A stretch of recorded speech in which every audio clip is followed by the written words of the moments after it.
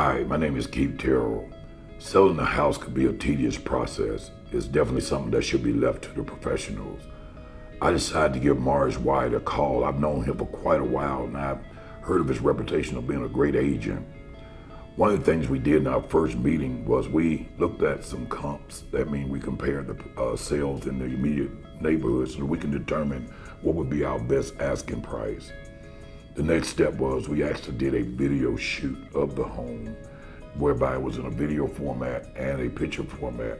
And I think online the house showed so well that had to be one of the greatest focal points of why the house sold so soon.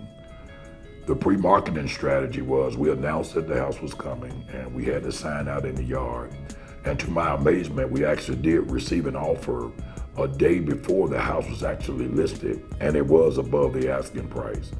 We did a open house days after we listed the home just to get a feel to see what else was out there. We did receive another offer before we finally selected the buyers that have purchased my home on this day. So I'm very pleased to say my house has sold. Uh, we had an offer again before we even listed the home, and I have to attribute all that to Mr. Morris Wyatt.